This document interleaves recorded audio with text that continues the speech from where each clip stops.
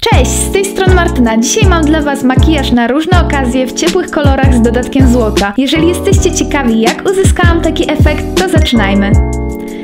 Na twarz nakładam podkład MAC Studio Fix w odcieniu NC10 i rozcieram go gąbeczką.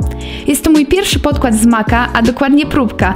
Szukam teraz idealnego podkładu dla siebie i ostatnio weszłam do ich salonu, poprosiłam o dopasowanie koloru i dostałam próbkę. Myślę, że jest to bardzo fajna sprawa, że mogę go przetestować w domu niż w salonie w sztucznym oświetleniu i zdecydować czy mi odpowiada, w szczególności, że nie jest on tani. Następnie nakładam korektor z Bell pod oczy, nos i drobne zaczerwienienia.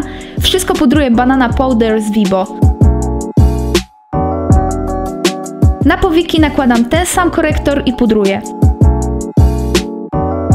Zabieram się teraz za brwi, do ich podkreślania używam pomady z Inglota w odcieniu numer 11. Dodatkowo pod linię brwi nakładam korektor, aby bardziej uwydatnić ich kształt. Będę używała teraz pięciu cieni z Inglota. Pierwszy cień, numer 285, nakładam w załamaniu powieki puszystym pędzlem, dokładnie rozcierając, aby ładnie się rozprowadził.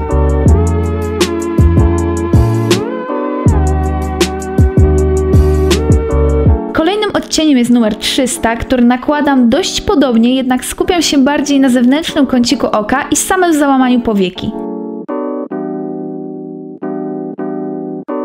Następnie biorę czerwony cień numer 296 i nakładam go w zewnętrznym i wewnętrznym kąciku oka.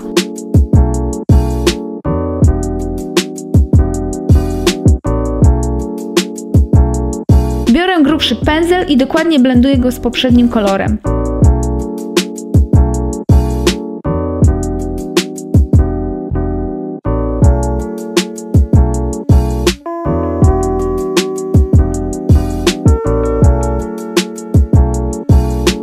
Załamaniu powieki i zewnętrznym kąciku oka drobnym pędzlem dodaję ciemny brąz o numerze 298.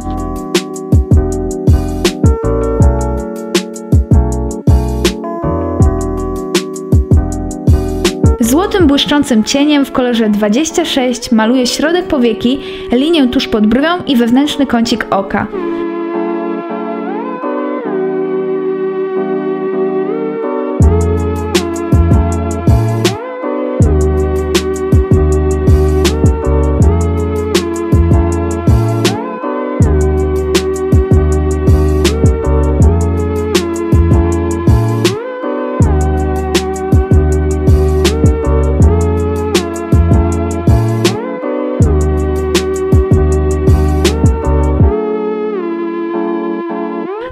Powiekę maluję niemalże identycznie. Zaczynam od jasnego beżu, przechodzę przez ciemniejszy odcień, w zewnętrznej części dodaję nieco czerwieni i ciemnego brązu.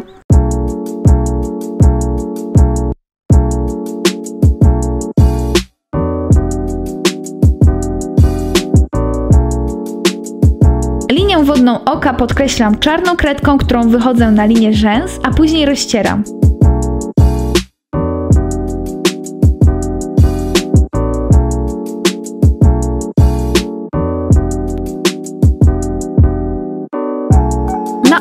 Rysuję kreskę używając czarnego eyelinera.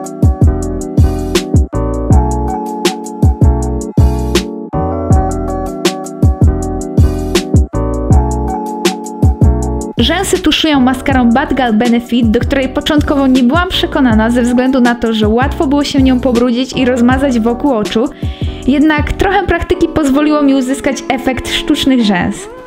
Oczy skończone, przechodzę teraz do konturowania twarzy pudrem Skobo. Podkreślam policzki, czoło i nos.